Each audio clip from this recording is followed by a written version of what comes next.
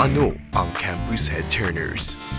Basically, Campus Headturners is a reality TV show here in Zamboanga City, which is actually, I think, a first for Zamboangueños. The audience will be witnessing them grow as talented individuals as the new phase of entertainment in the city. We're looking for someone who has star quality and at the same time who can really represent Zamboangueño school spirit. Are you ready to make heads turn? Campus Headturners na ngayong August na sa E-Media.